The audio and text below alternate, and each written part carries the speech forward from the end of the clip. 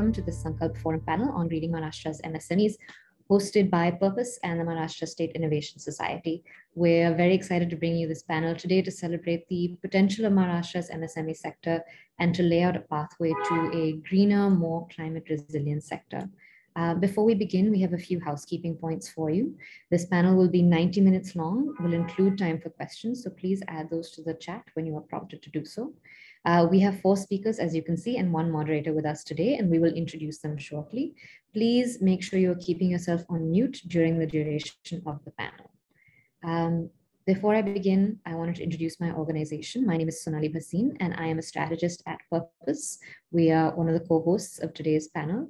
Um, as part of Purpose's work with Climate Voices, which is a communications hub consisting of ASAR, climate trends, and Purpose, of course, we aim to engage new and important constituencies in Maharashtra in a conversation about climate to amplify solutions at the state of the state's climate issues and encourage key stakeholders to invest in them.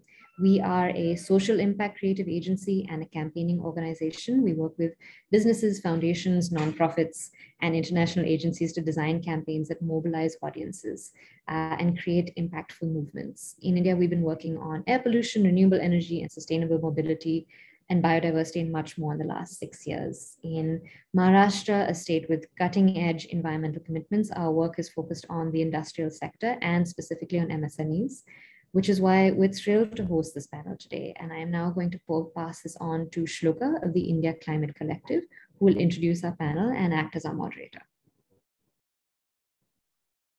Thanks very much, Sonali. Um, hello and welcome, everyone. Thank you all for taking the time to be here with us today.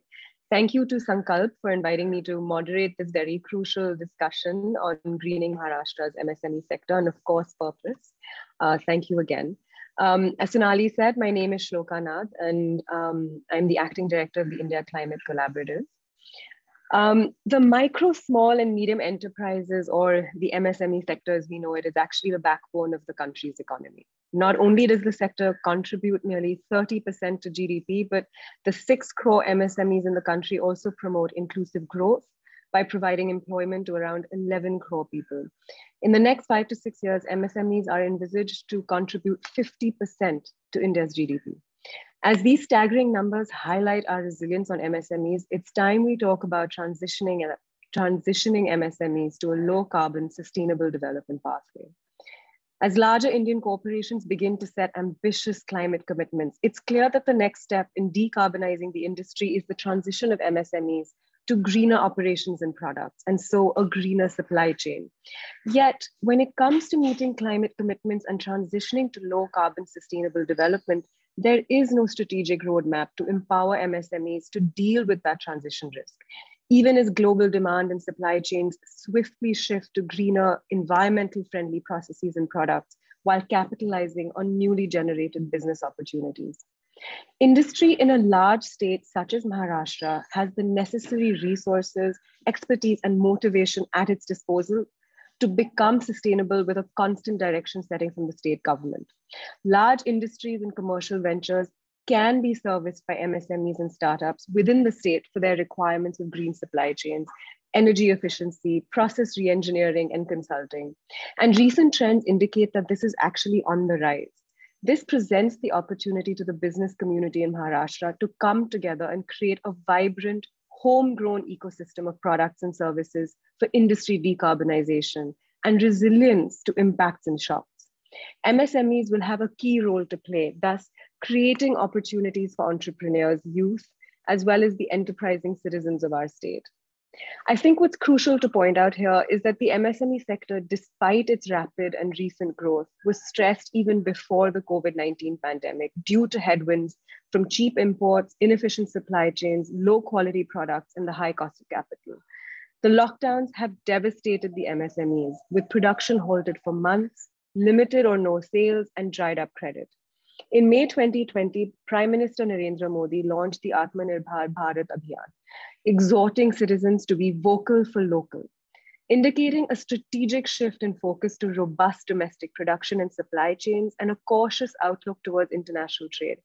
MSMEs in India form a crucial part of domestic and international supply chains of larger corporates, and this offers a golden opportunity for their revival. So transitioning to a cleaner energy system such as rooftop solar, especially localized at the cluster levels, and increasing awareness and building capacity to enhance energy efficiency of MSMEs will lower expenses and emissions while increasing their cost competitiveness and help them integrate faster with the economic mainstream. Maharashtra is a hub of industrial production for India and is pioneering cutting edge environmental commitments that will set the trend for the rest of the country. For the state to meet these low carbon commitments, industries must green their businesses. Studies carried out in Maharashtra show that the MSME sector will struggle to do so without policy and financial support. Impact investing and the rise of ESG criteria is a fast growing opportunity to decarbonize the industry sector. So, this confluence of factors presents the opportunity to the business community in Maharashtra it's an opportunity to come together to create, as I said, a vibrant homegrown ecosystem of products and services, and one that's truly resilient to impacts and shocks.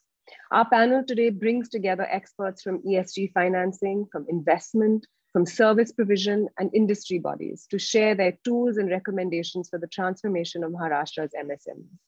So, with that, I think we can actually move on to our panel discussion for this morning. I take great pleasure in introducing our panelists. We have with us Dr. Nand Kumar, the founder and managing director of the Chemtrols Group.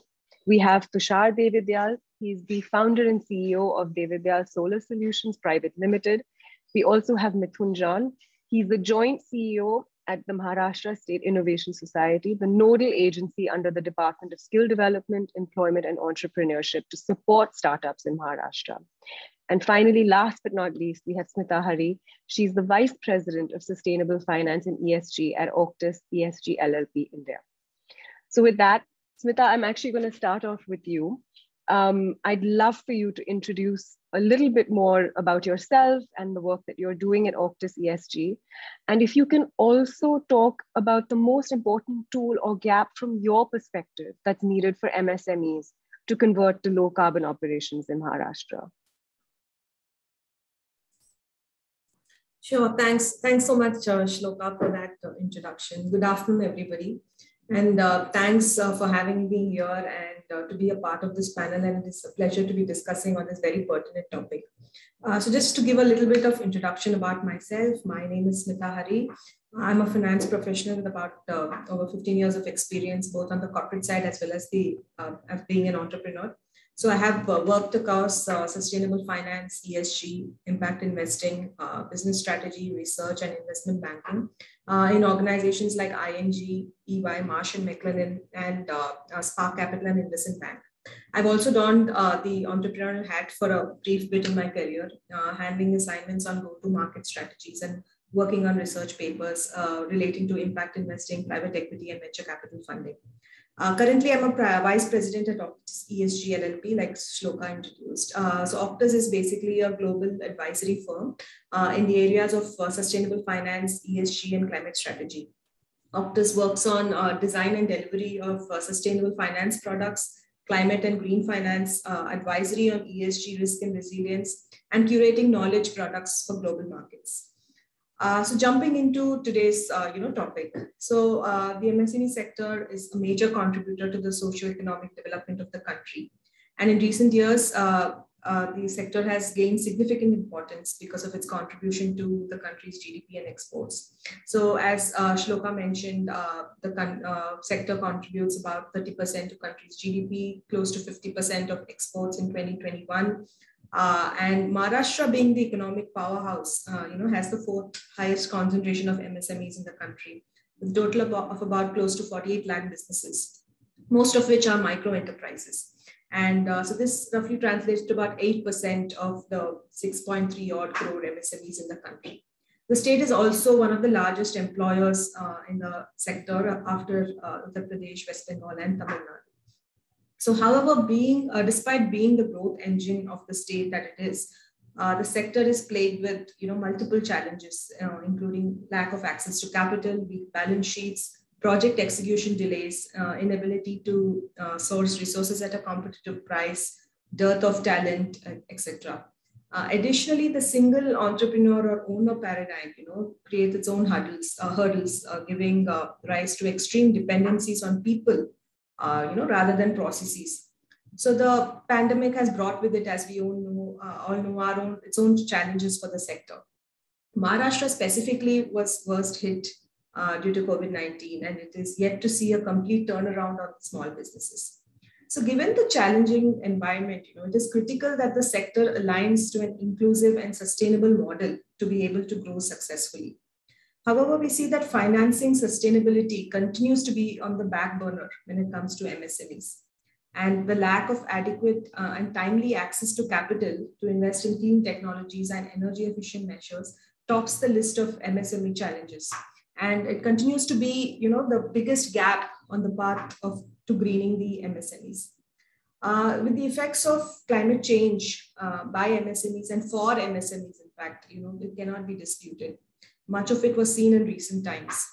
Uh, India is the third largest uh, emitter of carbon dioxide in the world, and uh, the manufacturing sector in the country contributed to about 300 uh, million metric tons of carbon dioxide, of which the MSME sector was about 135 million metric tons. this was a per annum number. Uh, similarly, its vulnerability to climate change risks is evident from the disruption in supply chains on the back of climate hazards. Therefore, financing uh, climate solutions in MSMEs is critical, which is currently not sufficient. So what is it that can we do to make MSMEs climate actions more bankable? You know, banks are the predominant source of debt finance for uh, the sector, and they have a mandate to uh, by RBI to lend to the PSL under the PSL segment. However, we see it's difficult for banks to meet this requirement. So pre-COVID, you know, financial institutions will seem to have limited exposure to MSMEs because of a whole host of, you know, challenges which I had mentioned uh, before. And adding to these complicated procedures, entrepreneurs' lack of financial knowledge itself, you know, of the schemes available, etc. However, last year after COVID uh, happened, uh, there has been an up, upsurge in MSME lending. Uh, purely because government of uh, India came up with the emergency credit line guarantee scheme for MSMEs. And it's seen a sanctions of you know close to 2.86 lakh crores uh, till end of September 2021 and primarily focused on the stress sectors. So the various uh, stimulus packages announced by India uh, may not have been earmarked towards sustainable sectors. However, a substantial chunk uh, would have certainly gone in an indirect manner uh, and the collateral free nature of the program itself has kind of helped many MSMEs. But this is far from sufficient. You know, therefore, apart from traditional options of debt, equity, direct grants, and stimulus packages, there is a need to introduce innovative alternative financing mechanisms to stimulate the low carbon measures and promote energy efficiencies. So risk guarantees, blended finance structures, innovative bond structuring, uh, venture capital funding, credit link subsidies. Uh, all these are required, you know, to kind of stimulate flow to the uh, flow of finance to the sector. So I'll touch upon some of these aspects later in the discussion, uh, and I'd like to stop for now. Yeah, thanks. Thanks, Smita. That was really, um, I think, uh, really well put because you've kind of sort of summed up one of the most crucial gaps, which is, of course, the financial gap. Um, and I actually, Dr. Nankumar, I'm going to turn to you. Um, you, of course, are you know not only the founder and managing director of the Chemtrols Group, but you're also the chairman of the CII MSME subcommittee. And perhaps uh, you can shed some light as well on what Smita was referring to. I know CII has been very active in preparing, of course, a lot of um, tools, especially financial tools for MSME. Um, and promoting you know more sustainable financial business models would love to hear your work there.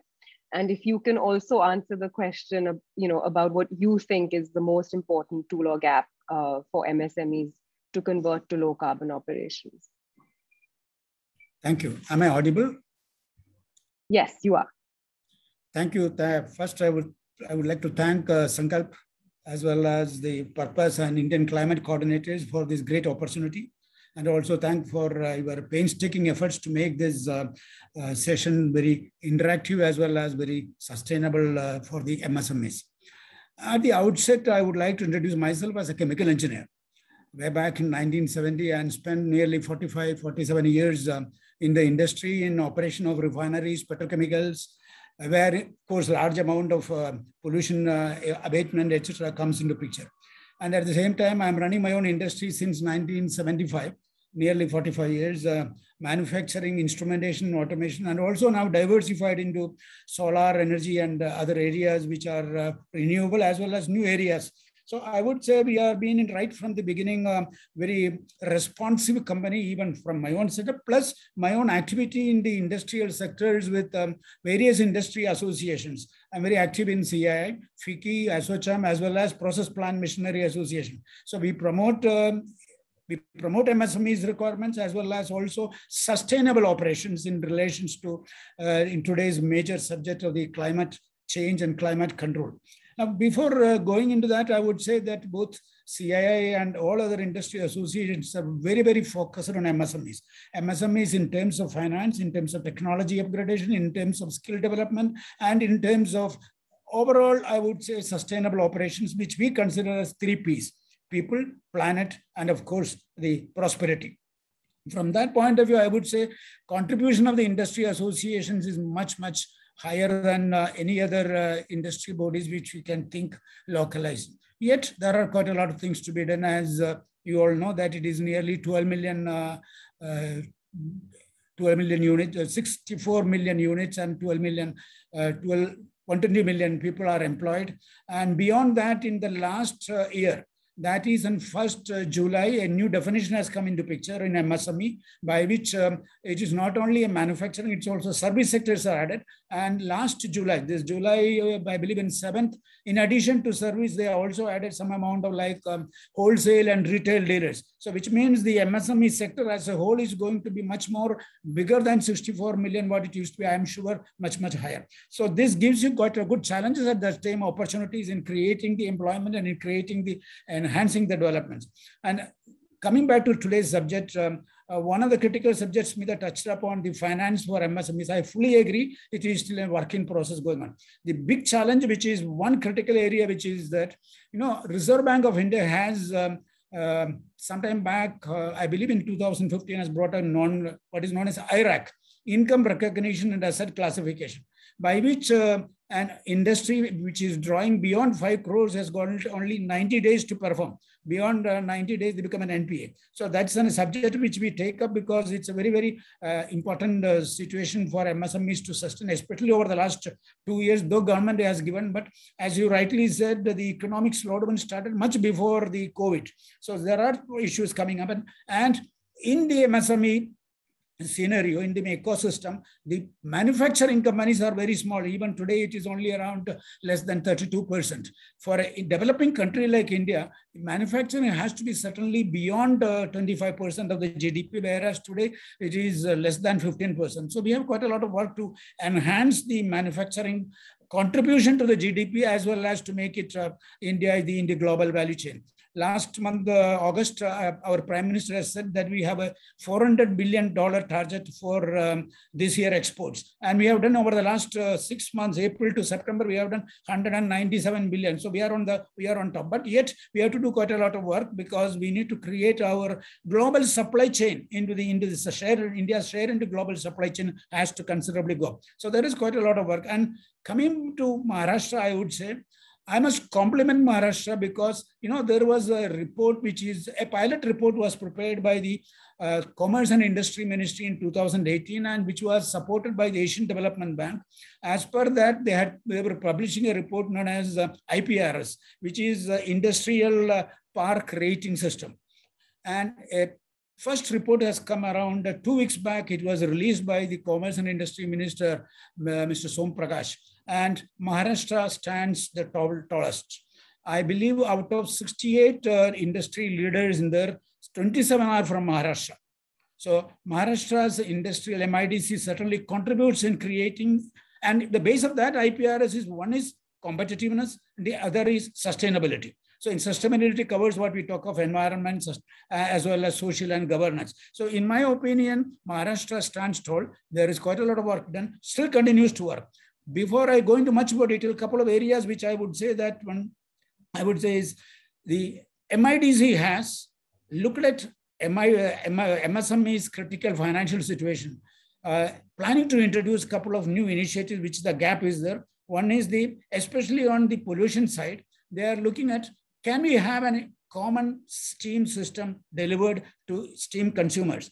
Because each and every MSME produces steam. Put a boiler, then it is very difficult to control the pollution. So they are looking at how we can have a, a, common boiler system across an industrial park and distribute the steam superheated or uh, uh, saturated steam depending upon the requirements. That is in a working process. I must say that will really be a great service, not only to become competitive, also to reduce the climate uh, issues coming up. Another area which they are looking at this common, and as a cluster development program, they have also brought up the common facility center, CFCs. And in the common facility center, which is are operating in, uh, I would say in basic technology based on, which was there in operation for the last 15 years, 20 years, and individuals. There are a lot of issues coming up because uh, the discharge to the effluents varies from industry units to it. Now they are also looking at that common facility, common facility center, that is an effluent treatment plants to get it modernized upgraded with the technology, which is one of the, what's a multi-effect evaporation system by which any type of effluents coming in can be properly controlled at lower cost and which, and also generate the uh, water for consumption. So I would say Maharashtra is taking quite a lot of initiative in, in enhancing the MSMEs to meet the climate control and meet India's commitment to COP21. Now again, it is coming up in November. So I would say the Indian MSMEs, especially the Maharashtra on the on the top side, on the on the highest, highest side, in creating the environment, as in creating the uh, ecosystem for having a complete cleaner production program, not only on continuous process industries, but also for which are not producing like engineering, auto, auto components. Couple of areas where they are looking at is um, in order to reduce the fossil fuel, can we also look at either store battery storage solar system energies or fuel cells? And fuel cells is going to, because hydrogen energy is going to come in the coming five years, hydrogen. So they are also looking at, can we not introduce fuel cells? And I would say that, as I said, my own company does um, air quality monitoring systems, continuous air quality monitoring stations. And in, in the state in the state of Maharashtra, MMRDA, we are doing great work on that. So I would say there also we are now looking at reducing the carbon footprint by having fuel cells. Thank you. Here I will stop now. I will come back to you. Thank you, Shloka. Thank you, Dr. Nankumar. That was, I think, a really informative you know analysis and summary of i think a, a, number of issues that msmes are facing. I think it's heartening that you of course feel that maharashtra as you said stands tall. But i think two things that you highlighted that are really crucial of course are the need for competitiveness and of course sustainable business models again. Um, tushar coming to you next just putting on a slightly different hat here you know basis the work that you're doing which is really exciting. Because the msme sector as i mentioned of course was struggling before um, but it is primed for transformation as they recover from you know current economic shocks because they are going to be instrumental in India meeting its clean energy targets. And what is required, of course, is capacity building for the adoption of energy efficient technologies and processes by MSMEs. And there is, you know, a big need to support clean tech startups. They are the missing link in scaling sustainability solutions, and climate finance is a great starting point. Um, you know, given that they currently struggle to re receive, of course, commercial capital at attractive rates, as our panelists have mentioned just just prior to you. So, would love to hear from you as the founder and CEO, of course, of Devidayal Solar Solutions, the work that you've been doing um, and if in answering while answering that, you can also take us through what you feel again is one of the largest gaps uh, facing the MSME sector and what will spur that conversion to low carbon uh, pathways for them in Maharashtra. Over to you. Absolutely. Thank you, Shloka. Uh, good morning, uh, good afternoon to everyone. And uh, thanks for having me at this forum. I'm going to pull up a slide uh, to keep in the background while I while I talk about uh, the issue at hand. So my name is Tushar. I'm the founder and CEO of Devidayal Solar Solutions Private Limited. And what we do is we design and manufacture solar refrigerators. Uh, these are highly efficient, uh, energy efficient, need uh, small solar panels, small batteries, and are completely off grid. So uh, they would reduce demand on the grid where needed and provide uh, continuous cooling where there's power shortages, load shedding, or even in a complete off-grid area. Uh, we're based in Mumbai in Maharashtra, uh, and we have sales all over India and also in East Africa. Uh, most of our solar refrigerators are targeted at solving cold chain issues in agriculture, dairy, fish retail, and veterinary vaccine storage. Over the past two or three years, we've uh, uh, lab tested our solar refrigerators against international standards, and uh, we're proud to say that we were finalists of Global Leap Award in 2019. And more importantly for us as a company, we won the Consumer Affordability Prize. So uh, looking at the slide, what you see on the left is a frozen fruit pulp storage case. Uh, this, uh, this is in the tribal belt of southern Rajasthan. Um, we enabled uh, this tribal community to store sitafal and jamun pulp. These are non-timber forest products that are picked by tribal women. It's a seasonal, uh, seasonal activity. It's a livelihood that contributes tremendously to this community. And it was failing because of a lack of continuous power. Uh, decentralized cold storage has uh, generated, in this case, over 300 seasonal jobs, as well as uh, resulted in lower spoilage and loss. coming back to, um, to, to Maharashtra, uh, we find that there are several such value chains available in Maharashtra. Um, there could be a fish retail uh, value chain uh, in, say, coastal Ratnagiri or uh, Sindhudurg on the western coast of India.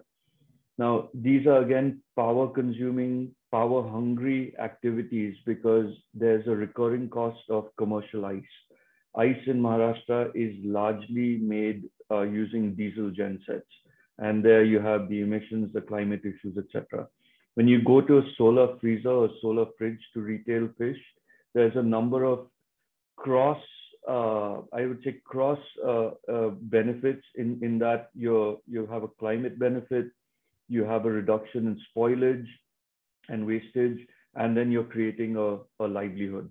Generally, in the case of fish retail, as you see in some of the pictures above, it's, it's a gender-focused livelihood. Uh, similarly, in goat milk in Maharashtra, uh, it's a large opportunity, especially for, uh, for women. Um, when it comes to Maharashtra and MSMEs and greening the sector, according to me as a practitioner who struggled through COVID, uh, I, I would say, you know, it boils down to one word, money.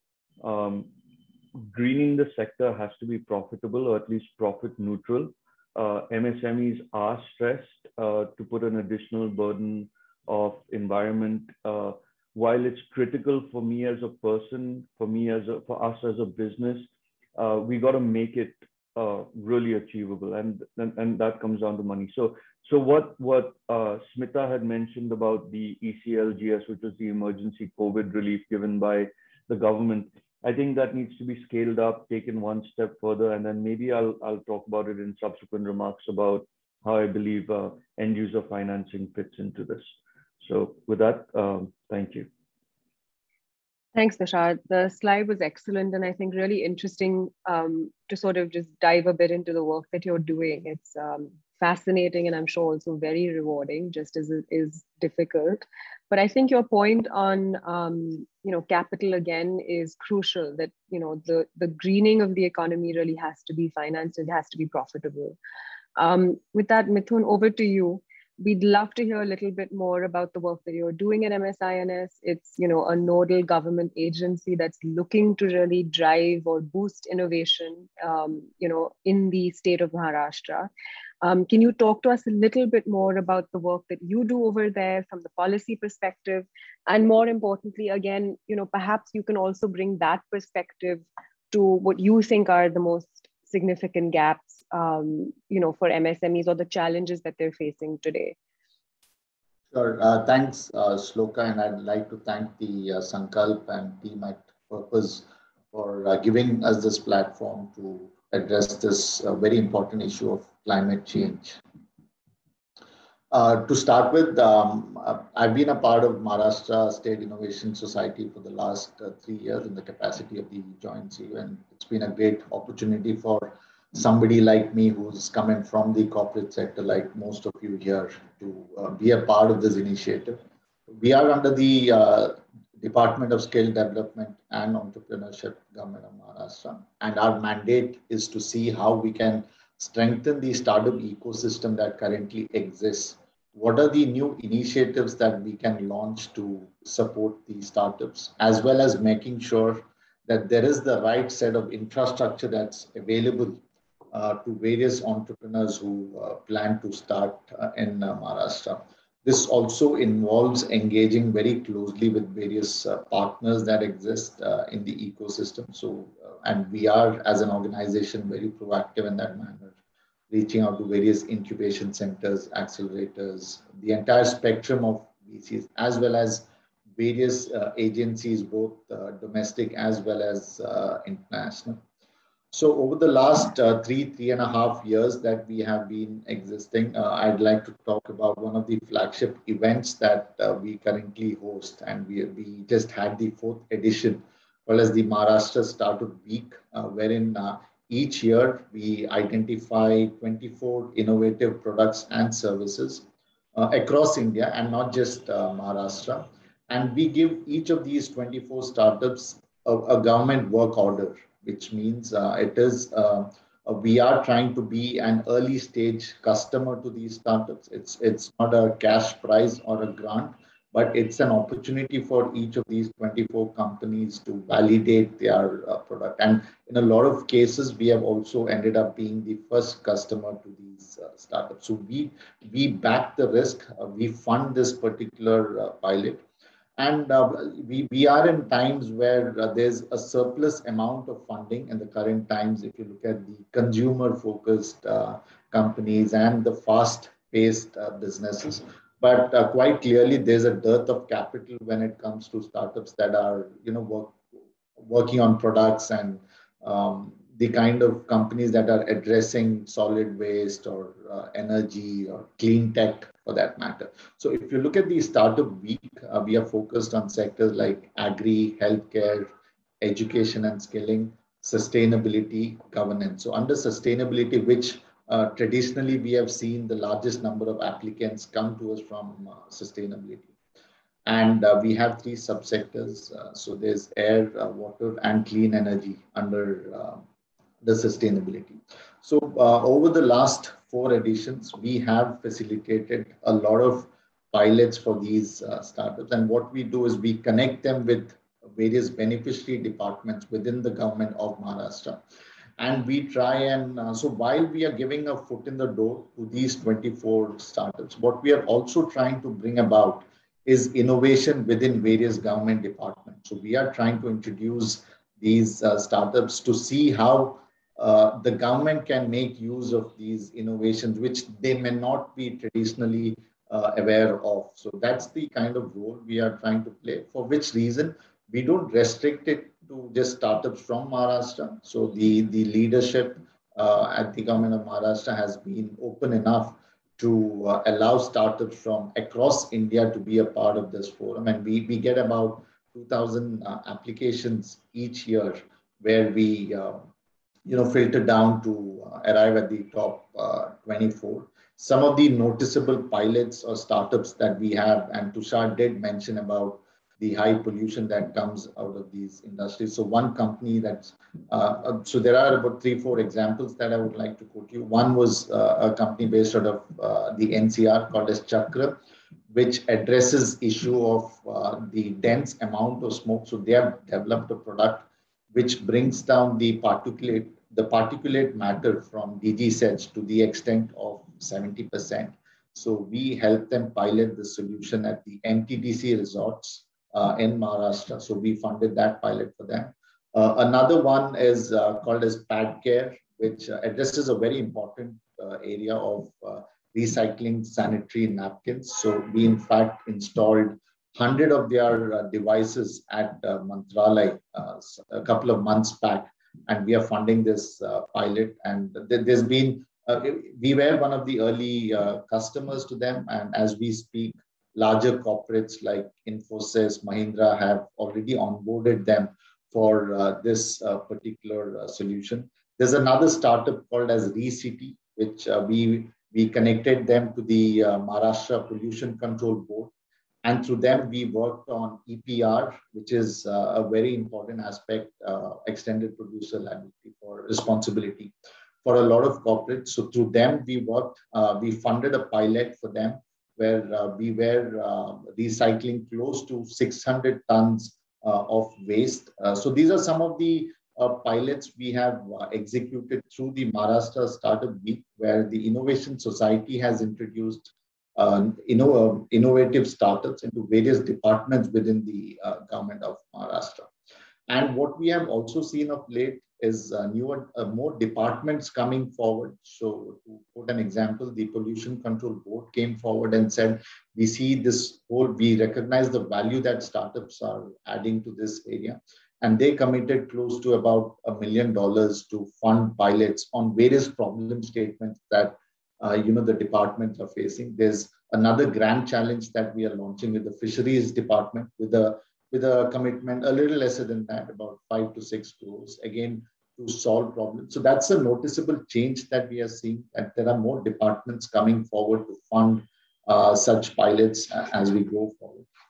Another policy which I'm sure a lot of you may be uh, aware of is the uh, EV policy that was launched by the uh, Environment Department.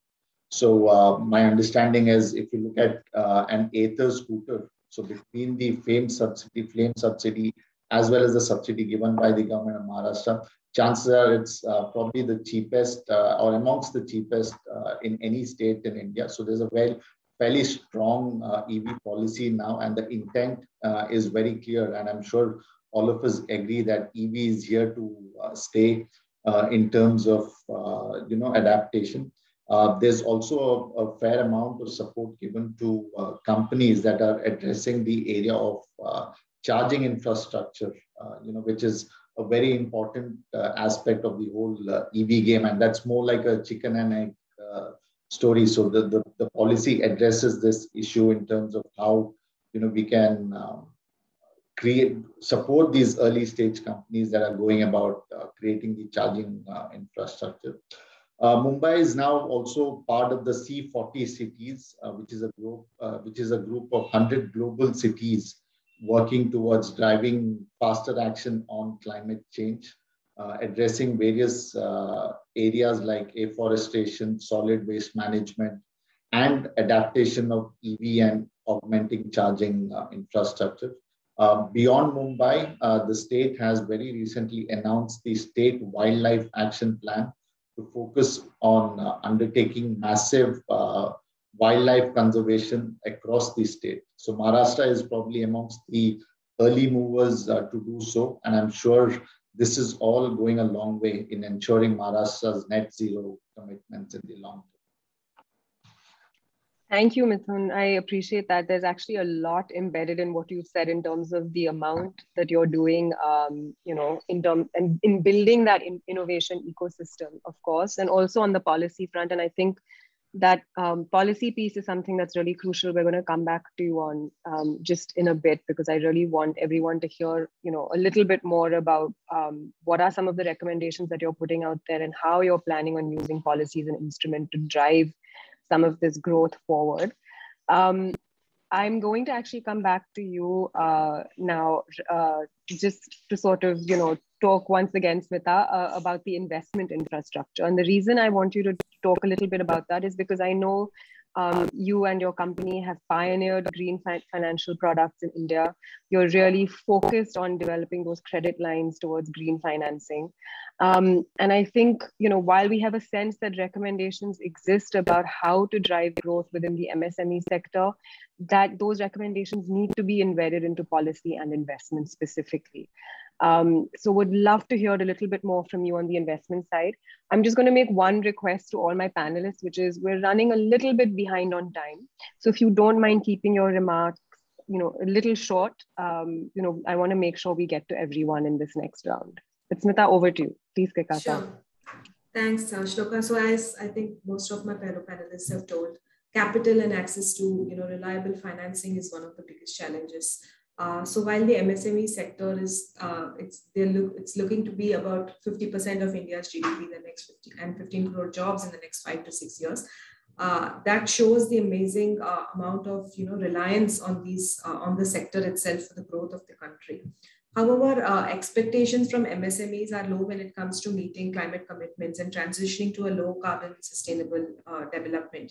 And even though global demand and supply chains are swiftly shifting to greener practices, there's no strategic roadmap, so to say, uh, for MSMEs to deal with transition risks.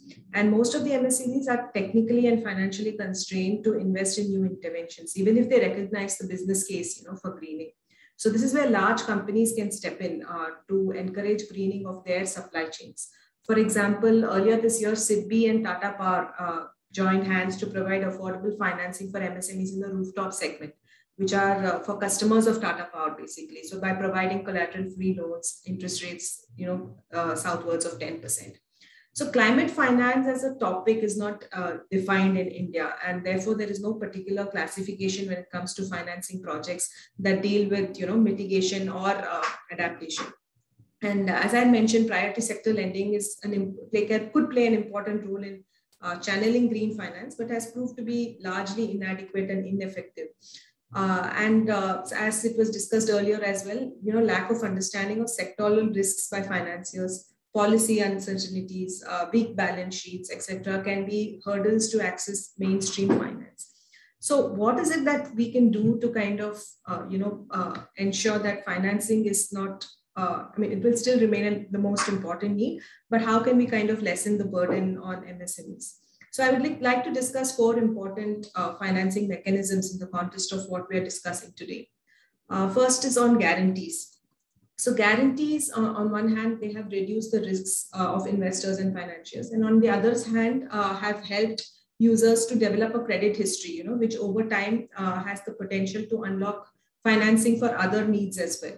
So basis uh, guarantees, financial institutions can provide concessional debt in the form of, you know, interest subsidies, waivers on down payments, longer repayment periods, uh, you know, to make the loans more accessible and affordable. Uh, so banks do use the credit guarantee fund trust for micro and small. So that's called uh, CGTMSE and guarantee schemes like uh, SIDBI and BEEs, uh, you know, partial guarantees to financial institutions for energy efficient technologies. Uh, so thereby enabling financial institutions to offer loans at a lower uh, rate. Uh, the basically the guarantees are through ESCO, the energy service companies, guaranteeing about 70, 75% of the loan amount. And there is a fee charge to this. So guarantee schemes like this, uh, you know, uh, can help even newer MSMEs with less than adequate credit history to build the credit profile. Uh, so what we need is an effective guarantee scheme, now targeted towards climate aligned sectors that would kind of be an enabler in the SME lending ecosystem. And uh, certain DFIs have started pushing climate and reduced GHG emissions as a goal and uh, partnering with that, such DFIs with innovative guarantee structuring can help in uh, furthering the agenda uh, of the uh, greening the sector. So in fact, it is seen that financial leverage achieved with a small allocation of the guarantee fund can be significant, uh, you know, which in turn can lead to a sizable increase in the supply of loanable funds to uh, MSMEs. Uh, in fact, with respect to special reference to energy efficiency, which is kind of an important thing uh, in the greening goal, formation of EESL not only has fueled the energy efficiency market, but has also helped in mainstreaming financial flows across the supply chain, which includes SMEs at the base. Uh, the second uh, instrument which I want to talk about is, uh, it's not anything new, but it's uh, not often used. It's called uh, cash flow based finance, which you know helps resolve the working capital issues of the smaller entities. So the loan is actually backed by an SME's uh, existing and expected cash flows and repayments to banks are based on business projected cash flows. And the debt covenants on these kinds of loans are focused on managing the levels of the interest rates. And, you know, so basically charting the cash flows helps in entering uh, the fixed cost, operating costs, accounts receivables, account payable, etc., into, you know, future weeks or months realistically. And such uh, financing is particularly relevant to cash generating enterprises, like, for example, suppliers of water ATMs, where, you know, the inflow is mainly in the form of, you know, cash rather it's it's like an annuity based model. Blended finance is the third uh, i've been talking about. Just keep it short because uh, uh, we're running out of time. So this is where you know uh, the use of development finance or philanthropic funds are used to mobilize private capital uh, flows to borrowers, resulting in uh, positive results for both investors and uh, communities. And uh, so DFIs again can have a role to play here to provide such blended models in order to enable mainstream financing towards the solutions. And uh, the new upcoming DFI in India that uh, you know is planned to establish, they can consider such interventions. So basically, what happens is uh, you know you you have access to uh, some form of a grant capital which can be leveraged to get more of you know risk capital. So the pool itself becomes quite large uh, for the end customer.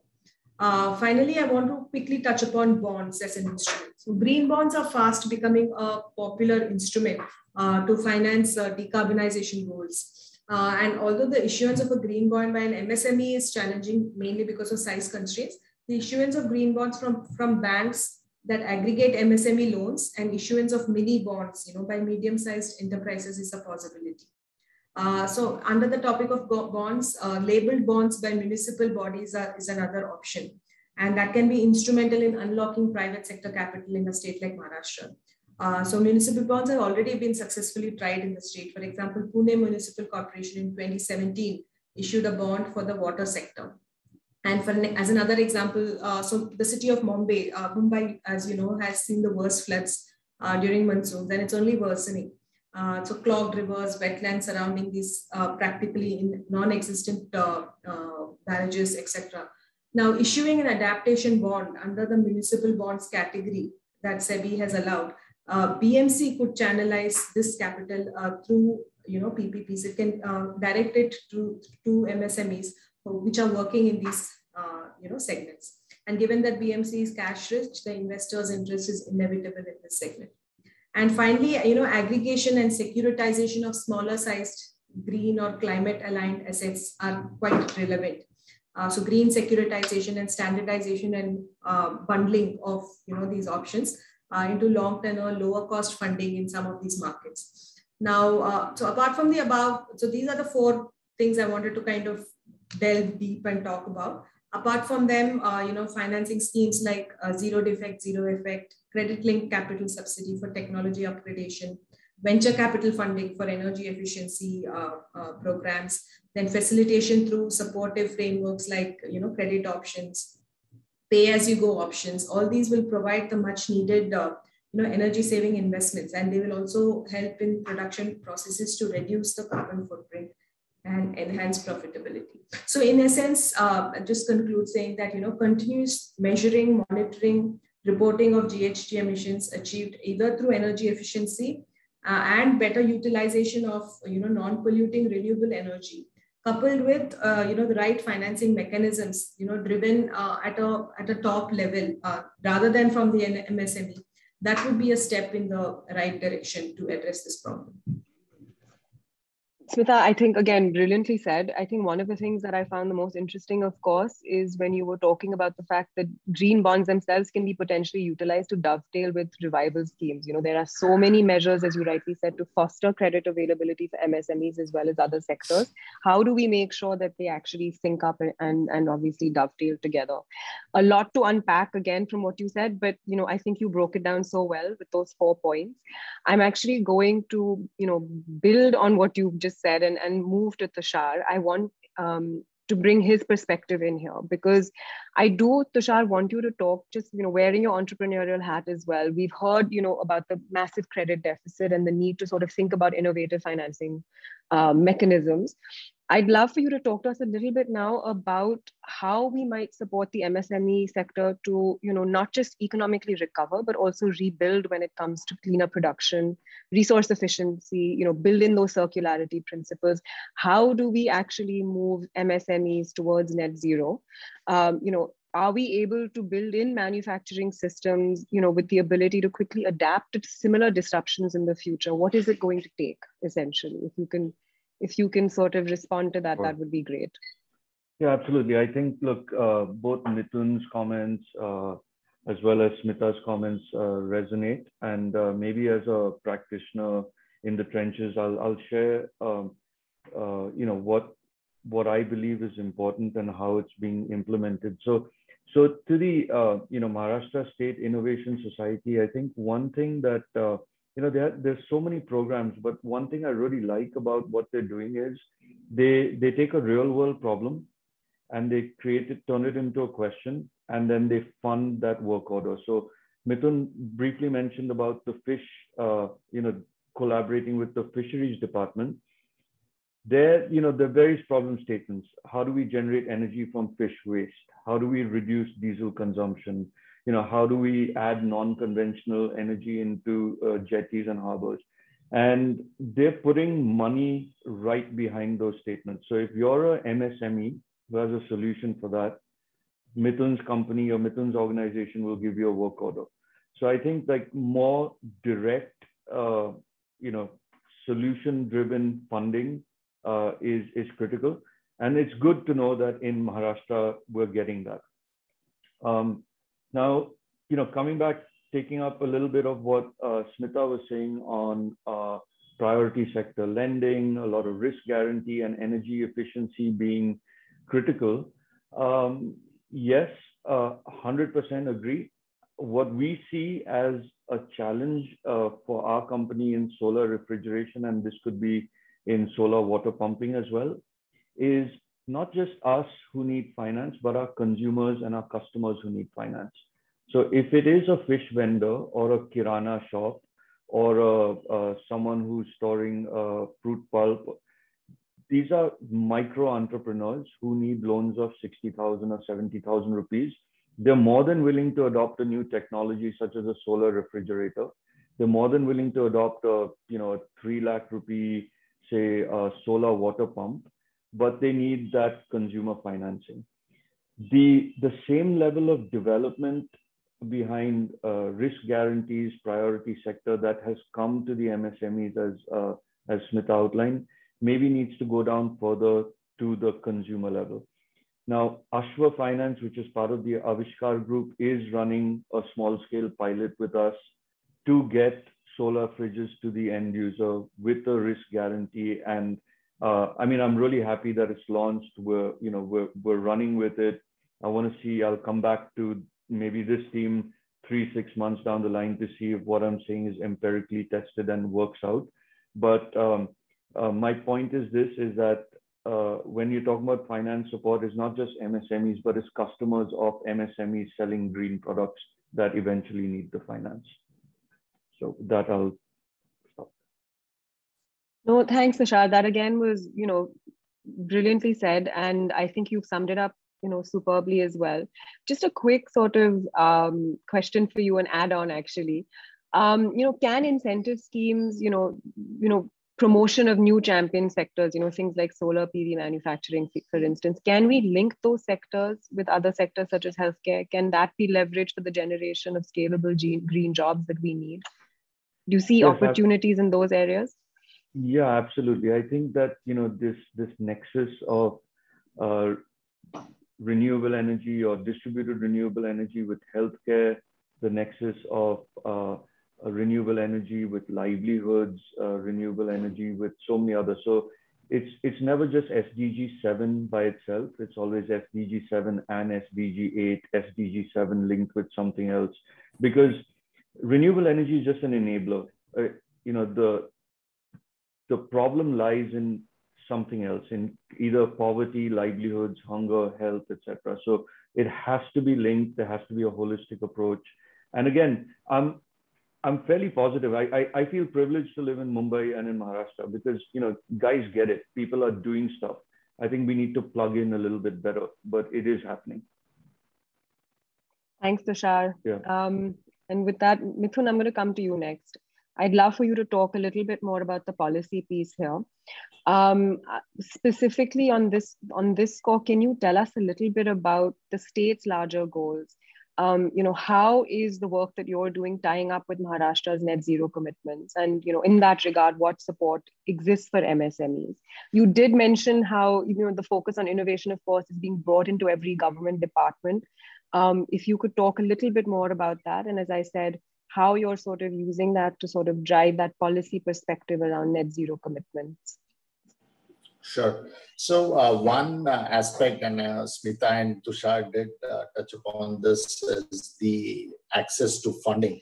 And uh, we are probably one of those uh, few states that has three venture funds in place. Um, now, that's not sectors. I mean, it's not just for clean tech startups, but that's, you know, more uh, sector agnostics. So there's one social venture fund, which is a 120 crore uh, fund. Uh, there's another fund which is thematic, and that focuses on defense and aerospace, which is a very niche area. And in fact, one of the uh, MSME that was in that space recently listed on the uh, stock markets called as Paras Defence.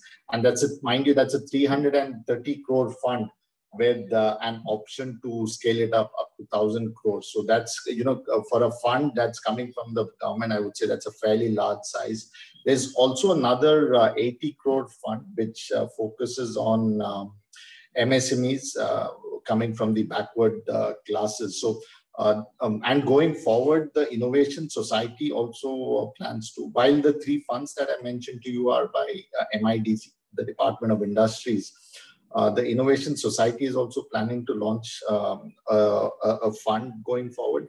And the focus quite clearly would not be on the conventional set of startups, which, uh, to be honest, have a fair amount of access to capital in the current times with the private uh, players that are there. So we would look at sectors that don't have as much access to, uh, you know, funding or have a longer uh, gestation period so I would say one uh, very important thing, and I think Tushar uh, highlighted on this aspect. So access to risk uh, capital is uh, is one thing that uh, we are uh, you know going to address.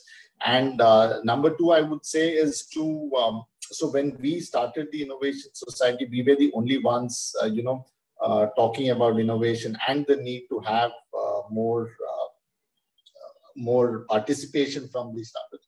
Another issue we are trying to address uh, is that of procurement from startups. So like all of us know, uh, you know, uh, government uh, procurement across the country is not very favorable. Of course, there have been a lot of relaxations, uh, you know, in the last few years. Is not very favorable for startups because of various criterion uh, criteria that are used in tenders. So we are trying to relax some of that to see how because startups very often don't have a prior benchmark. You know there's their chances are they are disrupting something so there's no technical specification or there's no prior benchmark to it. So it's always a challenge for procurement. So the idea what we are trying to do is you know through the startup week we introduce them as a pilot and to see if these companies can be a larger part of procurement because the government can actually be a very large customer especially for you know the kind of sectors uh, we are talking about. So that's one uh, policy initiative we are trying to see to see how we can to see how government can procure larger um, amounts or how startups can participate uh, in uh, larger government uh, procurement. So i would say these are two uh, very important aspects that we are looking at uh, Thanks, Mithun. I again, I think a lot there to sort of come back to. Um, but I'm just going to pause here right now because the work you're doing, of course, is fascinating and so needed. Um, Dr. Nankumar, just coming to you, would love to hear a little bit more from you from the coalition perspective. You know, this all of the changes that we've mentioned is going to require coordination on all fronts, whether it's businesses, CSOs, think tanks, the finance sector, of course. We're going to need alignment between the development and climate community to really deliver key signals to government as well. Um, what are you uh, sort of leading at the CII front in this regard, and where is sort of the real imperative for, for industry to step in? If you can talk a little bit to that. Thank you. Uh, I would say first I would like to look at the e ecosystem of the MSME. When you look at MSME, nearly 98% is micro and their investment is maximum 5 crores as per MSME definition. So we are really looking at which are creating the uh, problems regarding pollution or emission system is primarily on the small and medium. And that small is more, really around the two, two and a half percent and medium is hardly 25,000 units. And medium also has their own challenges. So the industry bodies are taking care of the problem as a general. So in the case of micro, it's primarily it's a one-man army or a two-man army, and they do primarily service to a one or two or three large corporates as a uh, as an ancillary unit. The real uh, standalone units are the uh, I would say even the larger part of the small and uh, the medium scale. And that's where the challenge which is coming in the uh, pollution and pollution uh, climate related areas, which government is addressing at various levels. I, everybody has spoken about, all my pre-panel colleagues uh, spoken about the various initiatives. I would say a lot of initiatives is taken care of on the climate control, climate funding, absolutely no issue. There are some areas which is uh, really uh, looking at it is not really looking at the technology which is brought from overseas. How do we create the value in the country by raising the R&D, research and development and continuous innovation, which is very, very essential because it cannot be a sustainable unit unless we have a continuous innovation. So government has focused on creating R&D into the country as well as um, continuous innovation. In fact, this is part of the, uh, I would say, various initiatives government has given to capital goods uh, uh, industry, capital goods sector, about out of the 33 sectors, capital goods is uh, driving the uh, anything what is required for setting up or running the industries. So capital goods sector is has got real challenges in terms of the stress, in terms of cash flow, but at the same time, government is also looking at uh, R&D and in fact industry association we have taken up with the government recently and it's a continuously we are taking up. Uh, there uh, there was a incentive of around a 200 percent weighted average on the expenses incurred for R&D R&D which was taken out uh, by government around five six years ago.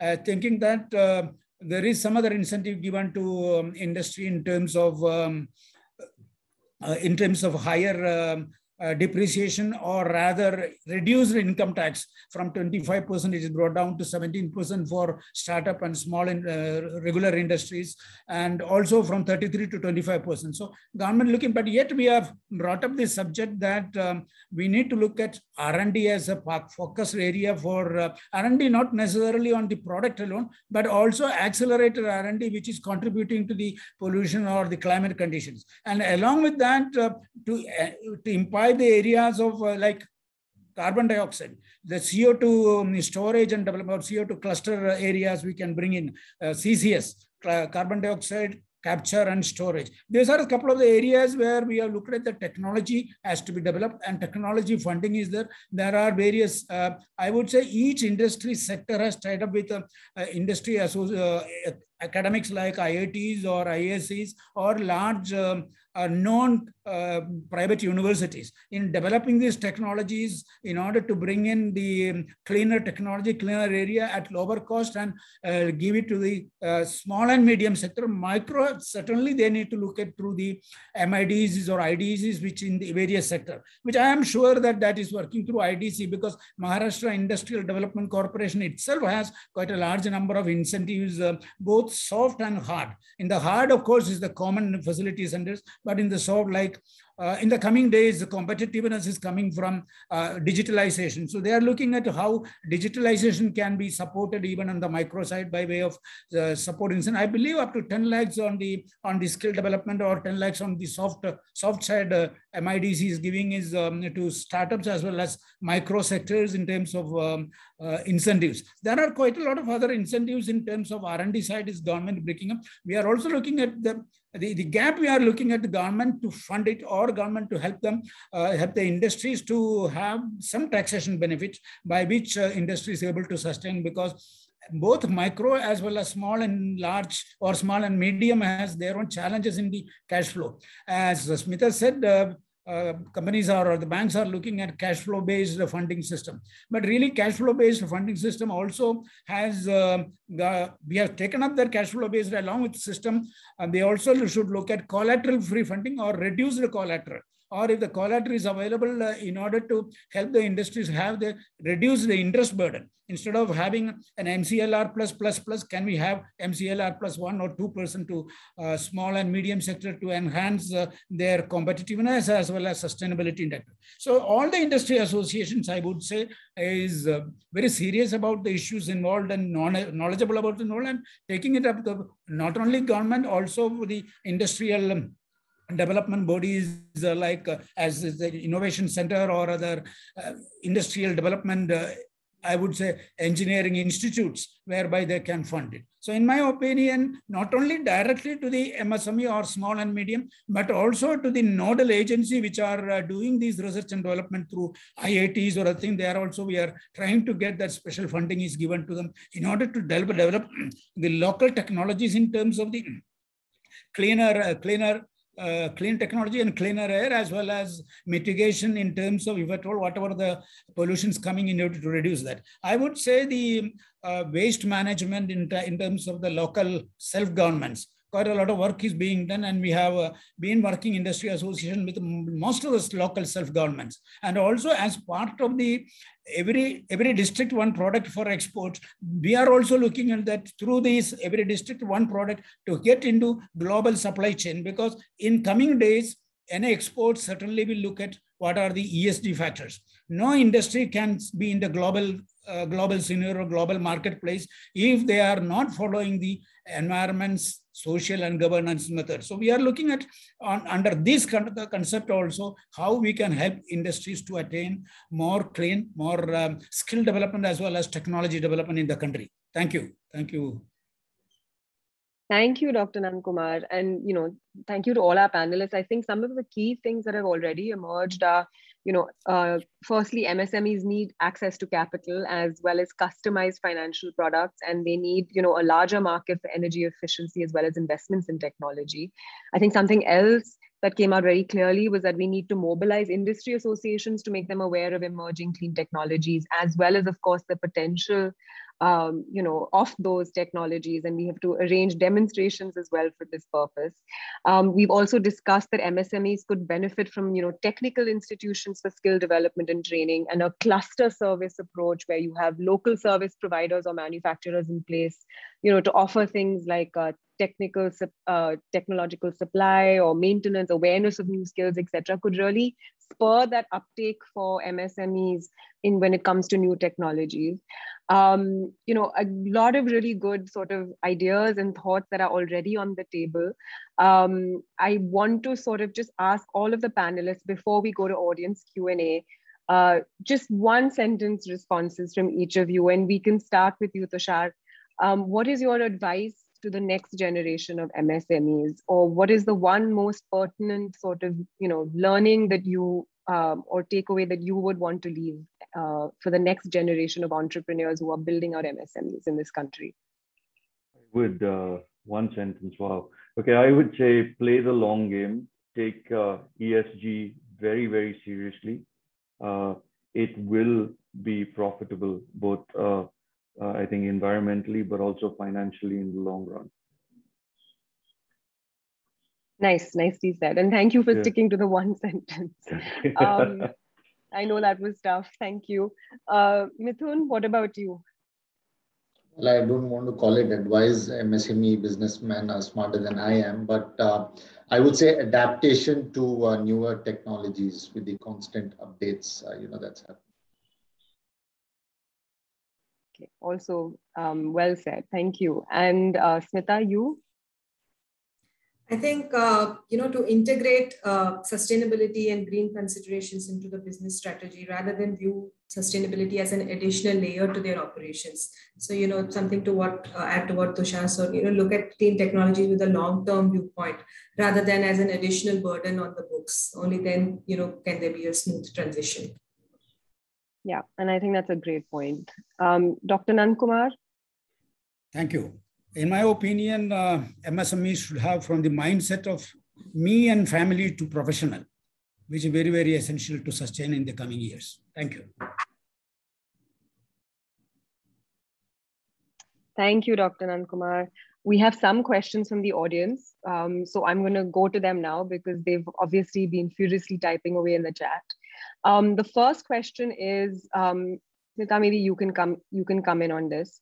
Um, are there any methods other than loans that can be utilized to help cover the challenge of end user financing for initial adoption of these renewable practices or tools? Uh, since the question is more on initial adoption uh, and, and you know so loans can come in a little later because when when a company is starting off uh, you know innovating and there is an initial uh, period then uh, either a, a grant-based model or a, a venture capital-backed model, uh, something to like how uh, Mithun was talking about. I think those kind of uh, mechanisms will be more uh, beneficial. And uh, see, for a bank, uh, the bank is interested in the numbers, right? I mean, everybody's interested in but a bank will look at what is the collateral, what is the, are there cash flows, it is sustainable or not, all those things. So to support an MSME in the very, very initial stage, getting a loan will be difficult. So these alternate mechanisms, uh, like how some of my other panelists have discussed, will kind of help. Thank you, Smita. Um, next question is for you, Tushar. Um, an audience member wants to know how we can ensure a just transition to greener operations, especially for women.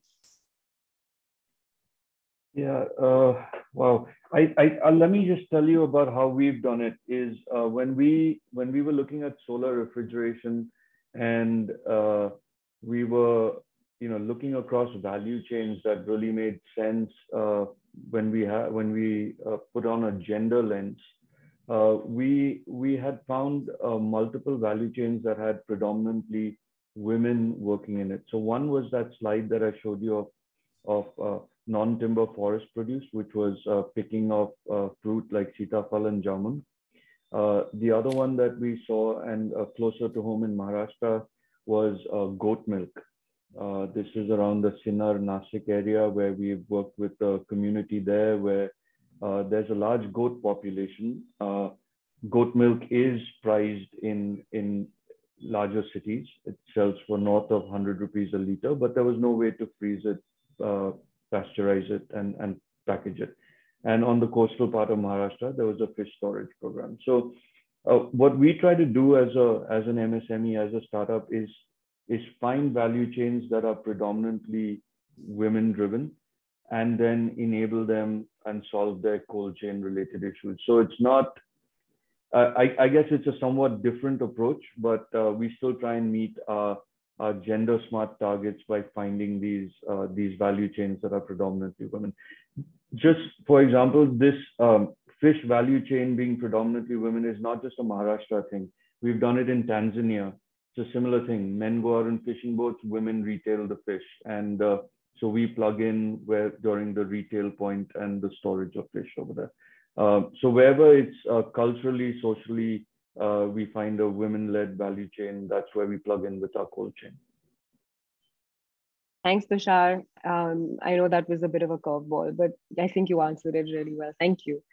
Um, Mithun, I wanted to ask you a little bit about, uh, actually, I have two questions for you uh, from the audience. The first is, um, can the credit packages and investment measures that have been announced, you know, can we use them to create local green enterprises at the decentralized level, um, specifically with regards to underdeveloped geographies? So how do we really create, you know, in situ employment? I'm sure this is something you're already doing, but if you can talk a little bit about that, you know, in Maharashtra, that would be wonderful. I'm sorry, Shloka, I didn't quite catch that one. Can you please come again? So I, the question was at the D, I mean, how are we sort of basically creating, you know, jobs in underdeveloped geographies using the investment measures and policy measures that have been announced?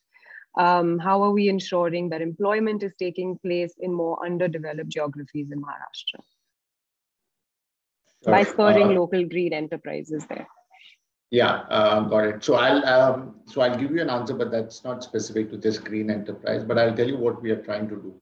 So um, um, we are the state's nodal agency, and now it's a known fact that 90% uh, of these startups that are there in the state are in Mumbai and Pune.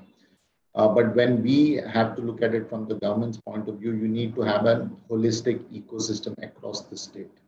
Uh, so of uh, one of the largest projects that we have is to set up incubation centers across the state to support early stage startups. And of the 17 that we have, um, just three of them are in Mumbai and Pune. The other 14 are across the state in places like Nasik, Akola, Amravati, Nanded, so on and so forth. And the idea being, you know, any youngster that wants to start up should have access to these kind of facilities as and when he or she decides to so. That so that I would say is a very important aspect. Now it's a different matter that you know at a later point when he or she scales up, the business might move to a Mumbai or Pune. But we, what we want to ensure is uh, you know when they start, you know there needs to be access to the right amount of uh, resources.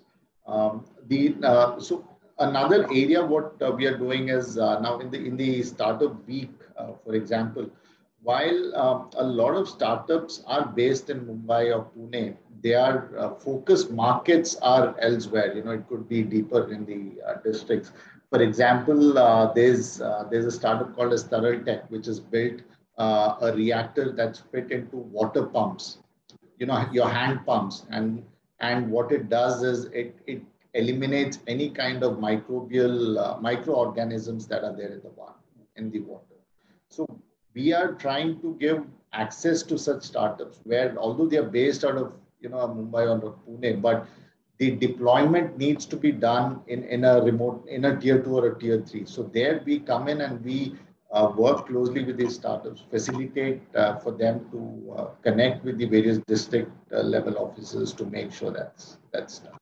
Uh, another startup which um, you know I'd like to talk about is somebody like an S4S, which makes solar dryers, and uh, so uh, very similar to what Tushar, Tushar is uh, not similar, but somewhere along those lines, where you know they make solar dryers, and it's given to women uh, self-help groups, and then there's a buyback arrangement. So these are various uh, ways in which we are trying to address this. I May I just add? on this? Yes, of course, Dr. Yeah. Nandkumar, please. As a one product, one district scheme under NITI Aayog, they have selected under 330 districts in developing these products as well as also incubating the entrepreneurs for to come up to that level. So that's a great initiative done by NITI Aayog, NITI Aayog across uh, 330 districts they have taken now. I am sure that will certainly catch up on the employment generation about the about the mofussil areas in uh, each because it is a district focus. It is not even a state focus. So it is a, it's a great initiative by NITI Aayog. Thank you, Dr. Nandkumar. Um, in fact, the next question was going to be for you as well. Uh, what is what skilling opportunities do you see, particularly with informal sector workers in the MSME sector? That's one question we've gotten. Uh, I would say uh, under national skill development centers, there are various skill uh, potential is there, which of course so far has been centered around the state capitals or districts. But now government also has um, taken that into even villages uh, into that skill area depending upon the potential of the particular district or particular village they are looking at. It is not necessarily conventional engineering or technology areas but as mithun said what is focused on the particular district how to create the uh, skill areas and in that some of the skill development initiatives is also to tie down to some of the large industries or medium industries which are in that particular area create as a create as an innovation center for creating skill as well as the product and, and I would say even the school, curriculum areas. In the curriculum itself, also creating an vocational courses. Today, what has happening, our curriculum has been purely in academic. Now, a lot of focus as per the new education policy has come that vocational course has been put into. So that is that will drive certainly this uh, uh, creation of the employment or creation of the skills in the areas. Vocational program in the new environment, a new educational policy, which is just launched last year. Thank you, Dr. Nandkumar. Yeah. Of course, please come in, yeah. Yeah, Shloka, just a thought. Uh, so again, skilling needs money, right? So, uh, uh, so this is where I think you know corporate uh, citizenship budgets or CSR, as we all know it, can come in. And uh, so, a lot of companies are having skilling and livelihoods as one of their uh, you know focus areas. so, I think directing it towards these, directing corporate CSR money towards these areas is, is you know in one way in which you know these kind of these can be scaled. Thanks. I think that's a great point. point. Yes, of course. Yeah.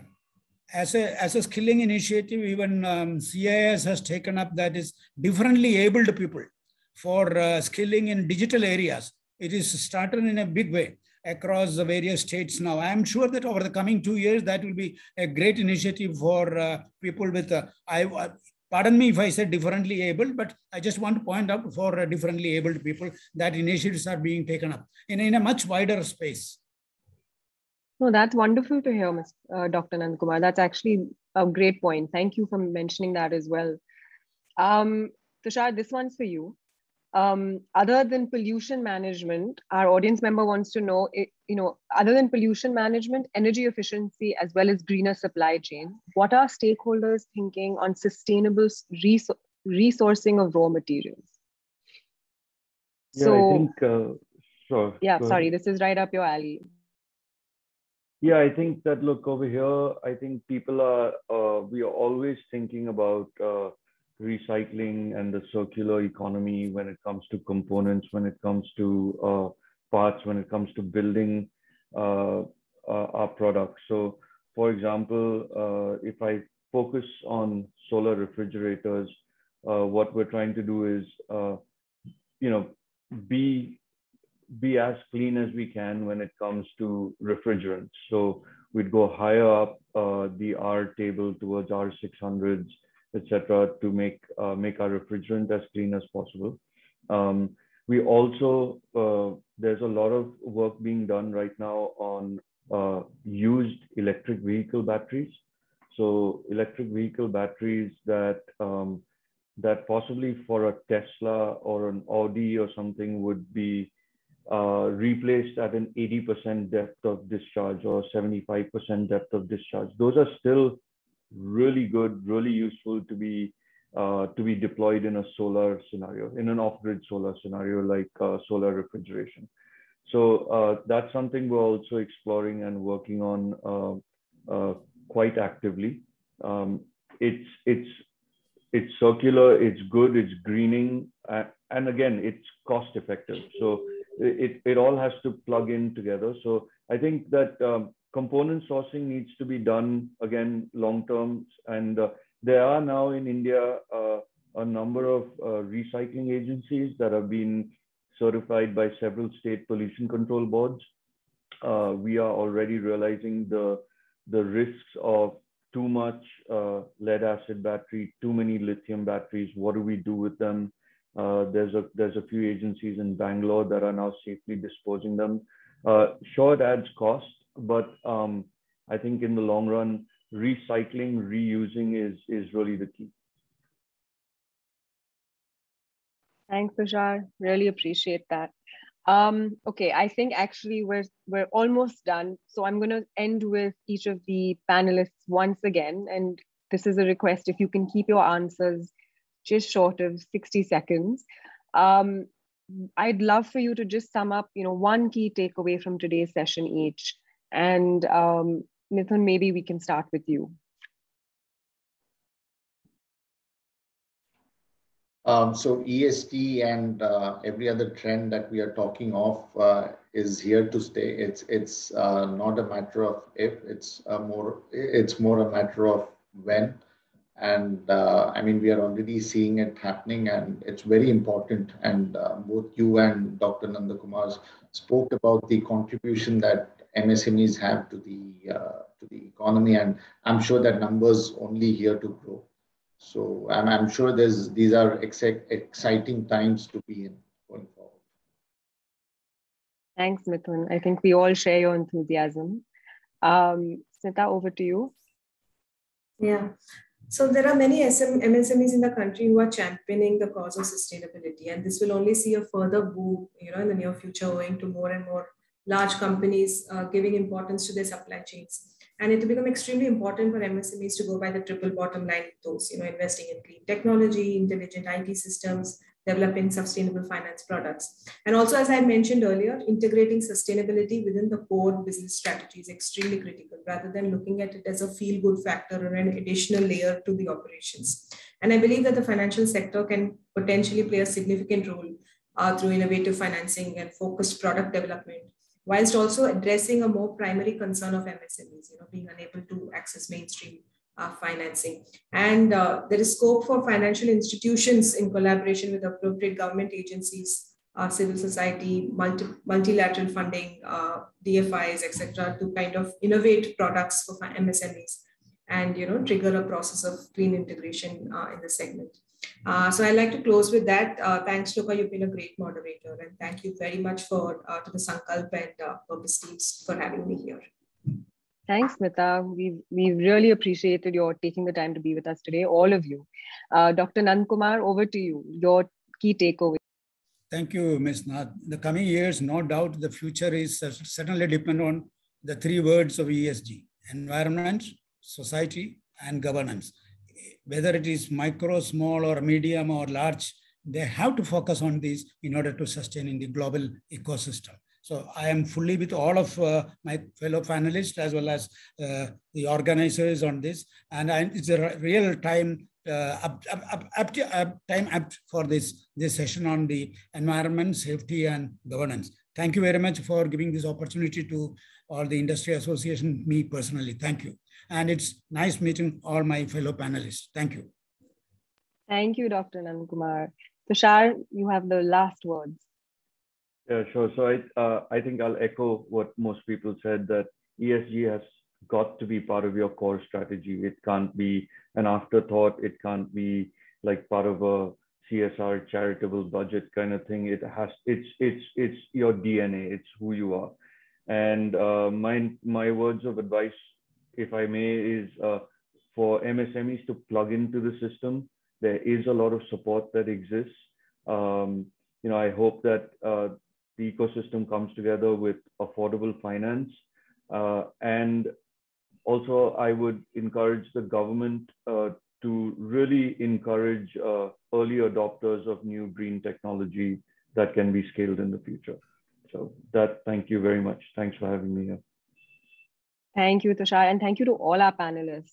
I think what's clear from this discussion today is that India's MSMEs are the backbone of its industrial transition. They are a significant source of emissions.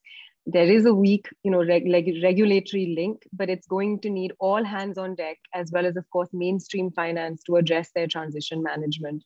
Um, but the opportunity is huge because a green transition for Indian industry can contribute not just to the country's environmental goals, but to its industrial competitiveness. I think that came out very clearly from our discussion today. And of course, you know, decarbonizing MSMEs is going to require a combination of fiscal and technology policy, market creation, supply chain security, and crucially, as you have all mentioned again and again, finance.